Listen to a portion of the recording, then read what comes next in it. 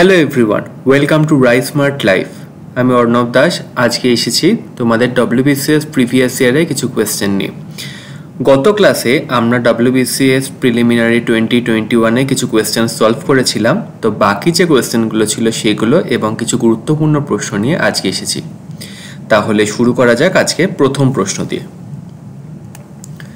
First কোয়েশ্চেনে কি বলেছে? Choose the word in the option that is farthest in the meaning to the capitalized word winsome first option কি দিয়েছে?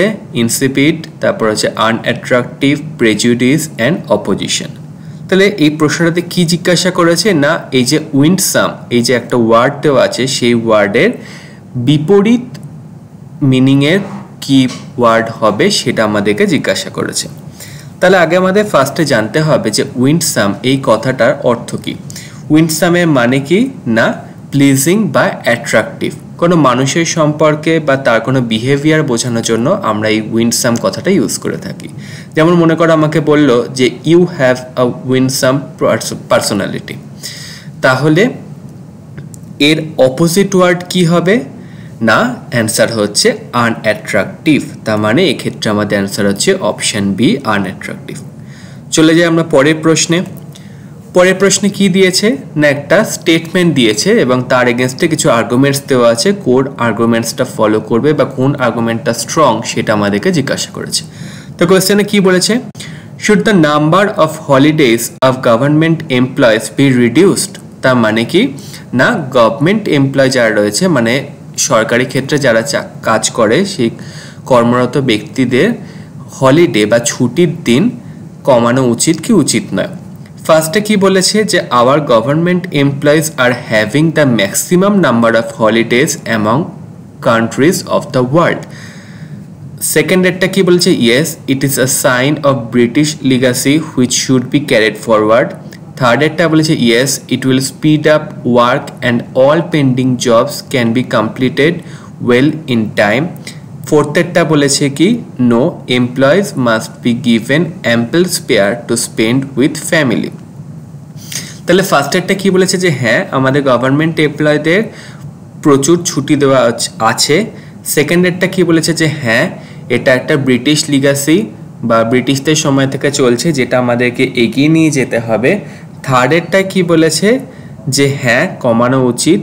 কারণ এটা পেন্ডিং যে সমস্ত জব মানে যে কাজগুলো বাকি রয়েছে, সেই সমস্ত কাজগুলোকে সময়ের মধ্যে কমপ্লিট করতে পারবে। এবং ফোর্থেরটা বলেছে যে না, এটা দিয়ে এটা না কমিয়ে এটাকে রেখে দেওয়া উচিত যাতে তারা তাদের পরিবারের সঙ্গে সময় কাটাতে পারে। তাহলে অ্যান্সার কি আসবে? যে শুধুমাত্র তিনেরটা এক্ষেত্রে ফলো করছে যে it will speed up work and all pending jobs can be completed well in time তো অনলি থ্রি ইজ স্ট্রং এইটা যেহেতু আমার কোথাও নেই, তাই জন্য এটার ক্ষেত্রে আমাদের অ্যান্সার হয়ে যাচ্ছে option D none is strong fourth একটাই কি বলেছে? এক্সক্লুসিভ প্রপোজিশন বলেছে কি which is the correct option many smokers get cancer first option কি বলেছে? ক্যান্সার পেশেন্টস আর স্মোকার্স তারপর বলেছে মোস্ট স্মোকার্স গেট ক্যান্সার তারপর বলেছে smoking may lead to cancer ফোর্থেরটা বলেছে smoking is injurious to health তাহলে এর মধ্যে কোন অপশানটা আমাদের এক্ষেত্রে অ্যান্সার হবে? না অ্যান্সার হবে option B most smokers get cancer many smokers get cancer বা মোস্ট স্মোকার্স গেট ক্যান্সার, কথাটা যেহেতু একই টাইপের তাই জন্য এটা আমাদের অ্যান্সার চলে যাই আমরা পরের প্রশ্নে। কোয়েশ্চেন নাম্বার ফোরে কি বলেছে? Today is Monday after sixty one days it will be তার মানে কি? না, আজকে হচ্ছে সোমবার, একষট্টি দিন পর কী বার আসবে? আমরা আগের ক্লাসে এই টাইপের কোয়েশ্চেন সলভ করেছিলাম। কীভাবে করেছিলাম? না সিক্সটি ওয়ান ডেজ যেটা দেওয়া আছে সেটাকে আমরা সেভেন দিয়ে ডিভাইড করব। তাহলে sixty one divided by seven তাহলে কত হয়? এইট ফিফটি সিক্স ফাইভ তাহলে কোয়েশ্চেনে যখন আমাকে বলেছে আফটার তাহলে এই যে ভাগশেষটা রয়েছে ফাইভ সেটাকে আমাকে মানডের সঙ্গে অ্যাড করতে হবে। তার মানে কি? মানডে প্লাস ফাইভ অথবা কি লিখতে পারি? Minus two. কারণ seven minus plus five equal to minus two. তাহলে মানডে প্লাস ফাইভ আর মানডে মাইনাস টু। তাহলে মানডে মাইনাস টু মানে কত হচ্ছে? স্যাটারডে। আমরা দুভাবেই করতে পারি। সামনের দিক থেকেও করতে পারি, পিছনের দিক থেকেও করতে পারি। তাহলে অ্যান্সার কি আসবে? Option B, Saturday. চলে যাই আমরা পরের প্রশ্নে। কি বলেছে? What is the missing number একটা আমাদেরকে নাম্বার সিরিজ দিয়ে দিয়েছে, তারপরে কি বসবে সেটা জিজ্ঞাসা করেছে। কি কি দিয়েছে? One two ten thirty seven one hundred one তারপর কি আসবে। তাহলে এটা আমরা দেখি কীভাবে হচ্ছে। আগে ফার্স্টে আমরা এটাকে লিখে নিই। One two ten thirty seven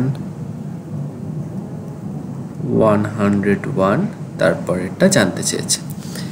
তাহলে ফার্স্টে আমরা কি করব? না, এইগুলোর মধ্যে কত কত করে গ্যাপ আছে সেটাকে আগে আমরা বার করব। তাহলে ওয়ান থেকে two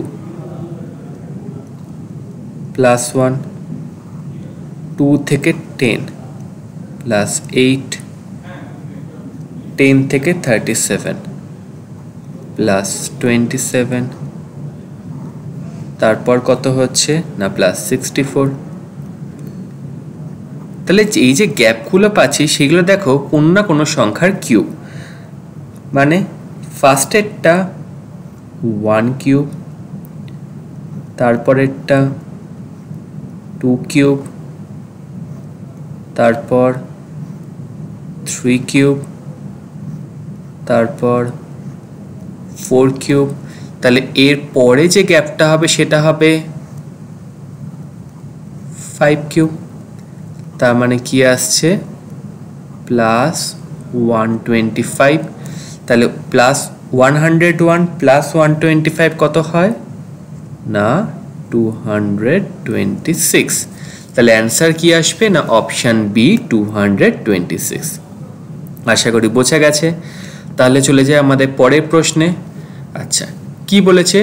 Should seniority be the only criterion for the promotion তার মানে কি? প্রমোশনের জন্য শুধুমাত্র বয়সে বড় হওয়াটাই কি দরকার?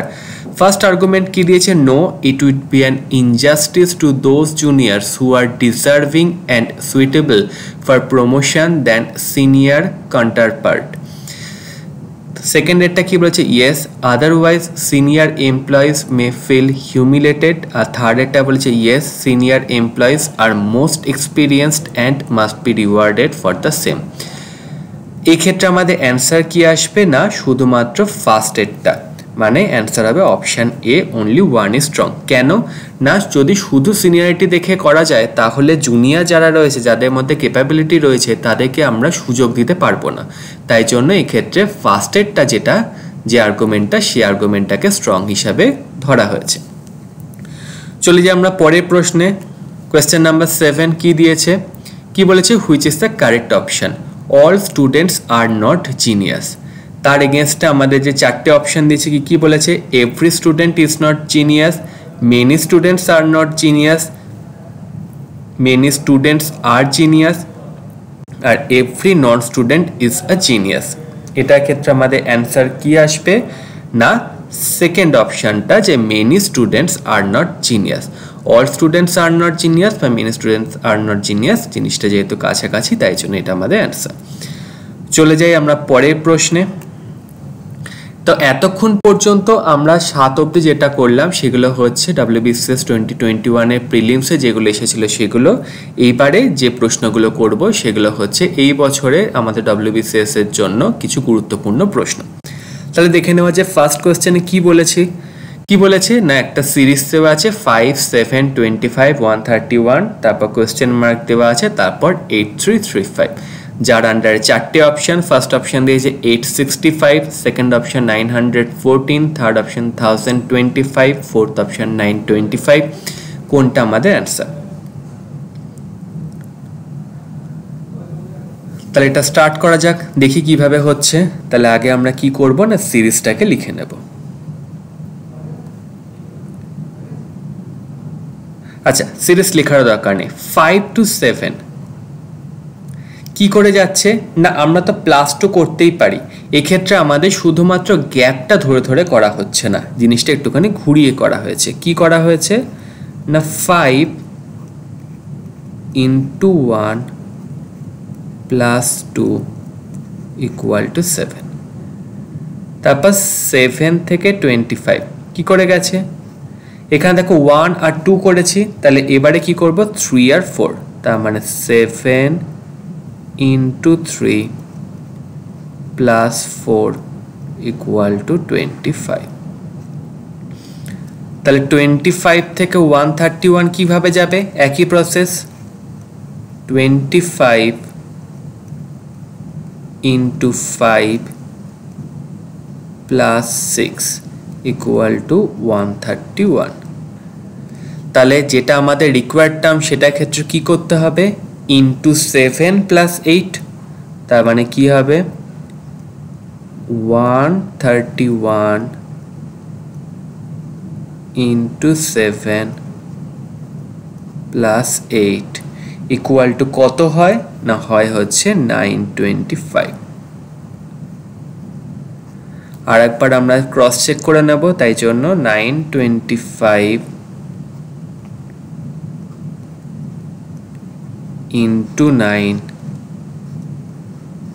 plus ten equal to কত আসে? না এইট থ্রি থ্রি ফাইভ তাহলে আমাদের এইটা জানতে চেয়েছিল, তাহলে এক্ষেত্রে আমাদের অ্যান্সার কি আসবে? না option D nine twenty five আশা করি বোঝা গেছে। তাহলে আমরা পরের প্রশ্নে যাই।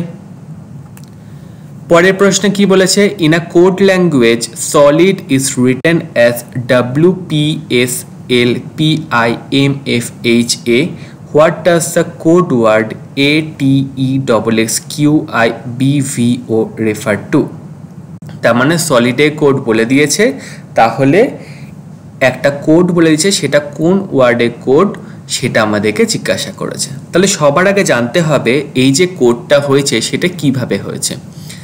না, এখানে দেখতে পাচ্ছি আমাদের টোটাল কতগুলো লেটার আছে সলিডে না আছে পাঁচটা।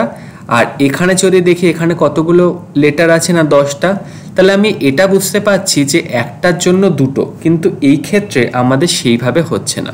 আমরা এতদিন ধরে এই জিনিসগুলোই ভাবতাম যে পাঁচটার জন্য দশটা যা আছে, তার মানে একটা লেটারের জন্য দুটো করে কোড বাট এটা একটুখানি আলাদা টাইপের কীভাবে হচ্ছে? না, দেখিয়ে দিই। আগে আমরা কোডটা লিখে নিই। W P S L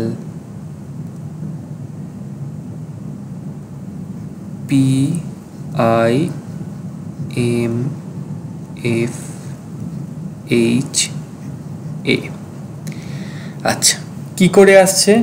না পি এই যে সেকেন্ড লেটার যেগুলো রয়েছে, তার সঙ্গে প্লাস থ্রি করলাম। তাহলে কত পাই? এস এবারে এল তার সঙ্গে প্লাস থ্রি করলাম। তাহলে কত পেলাম? ও তারপর আই